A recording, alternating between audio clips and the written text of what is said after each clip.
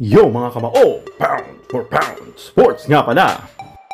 Pacquiao, tinakot si Crawford at Spence sa sinapit ni Thurman. Pag-usapan natin yan mga kamao.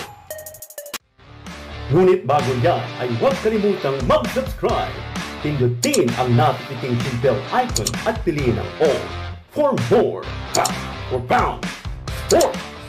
So yun nga mga kamao, matapos masaksihan ng mundo ang nangyari kay Kit One-Time Thurman may git dalawang taon na ang lumipas.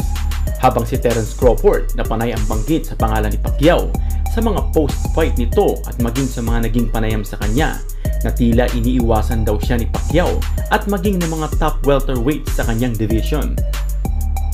Maging ang saga ng rivalry ni Spence at Crawford na tumagal ng ilang taon na hindi matuloy-tuloy dahil sa hatian na magiging kikitain sa laban nila dahil gusto ni Spence na mas malaki ang kikitain niya dahil pay-per-view star siya umano. Habang si Terence Crawford ay laging lugi ang laban at nagmula yan mismo sa top-rank promoter nito na si Bob Arum. Kaya naman nagdedemand si Spence ng mas malaki. Nagkaroon pa nga ng pagtatalo ang dalawa sa gitna ng publiko dahil giit ng bawat isa na siya daw ang dog o yung man of the division at pinagtalunan din kung sino sa kanilang dalawa ang boogeyman.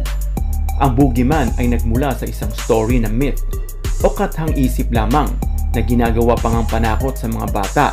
Kaya ang labas ay talagang ang kaya lang nilang talunin at takutin ay yung mga may hinang fighters sa mga dinaanan nilang division dahil hindi pa sila nakakaharap ng tulad ng ating pambansang kamao. Mike, well, I am the boogeyman. What, what I am the boogeyman. What is next to Terrence? No, no, he's just man, the boogeyman. No, I am the boogeyman. no. I'm boogeyman. Who? I'm the He can't be the boogeyman. boogeyman I'm the if I'm, of the division. if, I, if I'm if I'm, chasing I'm the, I'm him. the dog of the division. I'm the boogeyman. of the You can't be the Everybody boogeyman if I'm, I'm that chasing guy. you. Everyone know No, I'm no, that no, guy. no. You're not that guy. I'm that guy. Numbers don't lie, and I'm the number I'm that one guy. You're not the number Hey, one guy. numbers don't lie. You and signed I'm- for 3.5 fight. May mga kumalat din na balita na masyado daw kasing malaki ang hinihingi ni Spence mula sa porsyento ng hatian kaysa kay Crawford na 70-30 at malamang dahil sa ingay din ni Crawford sa social media at mainstream media at dagdag din ng tagumpay ni Spence sa mga huling laban nito ay gusto na niyang 80-20 ang split upang lalong gipitin si Terence Crawford. Bagamat may mga balitang lumabas na ganun talaga ang nangyayaring hatian. Ngunit for the record, ang dinidemand lang ni Spence para matuloy ang laban nito kay Crawford ay 40% umano ang matatanggap ni Crawford sa kanilang first split. Ibig sabihin, 60 kay Spence at 40 naman kay Crawford. Ngunit ginigiit pa rin ni Terence Crawford na kasalukuyang WBO welterweight champion at former undisputed junior welterweight champion at naging number 1 pound for pound best fighter in the world na dapat 50-50 daw ang hatian dahil pareho daw silang champion at ang resume nito sa boxing ay hindi pa huhuli kay current unified IBF WBC welterweight champion na pinaniniwala ang ding number 1 sa welterweight division. Nabiglaan nga ang pag-atras nito sa dalawang linggong pagitan na lang natitira sa araw ng laban dahil sa left eye injury sanhi ng torn retina. Si Terence Crawford na may naudlot na laban sa ating pambansang kamao bilang seryosong napusuan ni Pacquiao upang susunod na makalaban sa kanilang nalusaw na magiging laban sana noong June 5 sa Abu Dhabi, United Arab Emirates dahil lumalabas sa balita na umurong ang mga investors para sa magiging laban. At kahit hindi natuloy ang laban ay pinirmahan ni Pacquiao ang fight contract laban kay Crawford.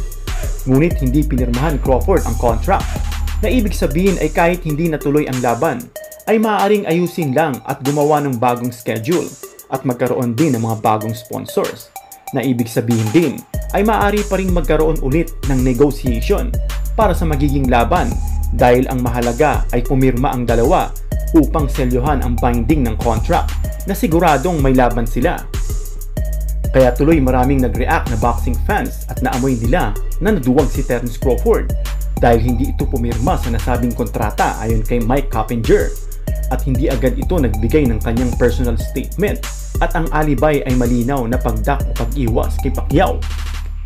At ngayon naman ang patuloy na mainit na balita sa pag-atras ni Spence na dalawang linggo na lang ang pagitan sa araw ng laban nito ay nagka-injury pa sa mata ngunit patuloy pa rin inaantay ng boxing fans ang ebidensya o ang mga medical report ng doktor na sumuri dito mismo at ang scan o x-ray na resulta ng sinagawang pagsusuri. Dahil marahil ang iniisip ni Spence na si Pacquiao ay magpagbabago na sa galaw nito dahil halos dalawang taon itong inactive at walang laban mula ng huling laban kay Keith Thurman. At iniisip natin mga kamao na ang nagbigay ng takot kay Spence ay ang mga balita na bukod sa lakas, bilis at angles na animoy batang Pacquiao ay ang balitang pinabagsak pa ni Pacquiao ang sparring partner niya at lumabas pa nitong huling balita na hindi lang pala isang sparring partner ang pinabagsak, kundi dalawa sa mga naging sparring partners ay pinataob ni Pacquiao. At habang si Spence ay pangit ang pinapakita sa kanyang sparring na kung saan tila nabugbog at nagkakaproblema sa mas mabilis at agresibong kalaban.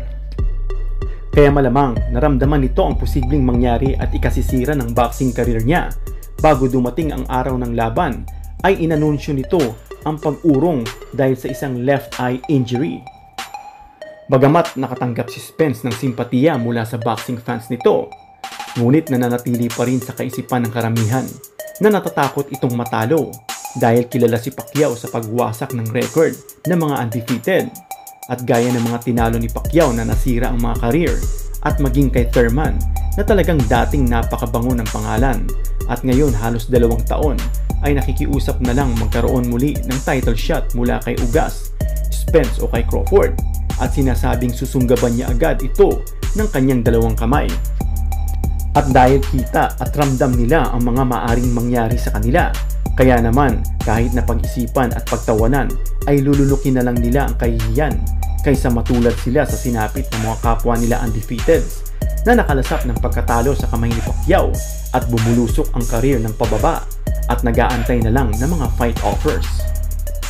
Kaya lumalabas mga kamao na ang generation ng boxer ngayon ay tila natatakot sa old generation at iniisip na hindi sila dapat matalo sa paniniwalang sila ang bagong henerasyon na dapat maghari sa boxing at gaya ng sinabi ni Thurman na pagre-retiruhin nito si Pacquiao dahil gaya ni Floyd na old fighter ay wala ng karapatan o puwang sa bagong henerasyon nila Ngunit bigo si Thurman na isagawa ang kanyang plano kaya naman naging babala o scarecrow ang nangyari sa kanya sa dalawang naghahari-harian sa welterweight division.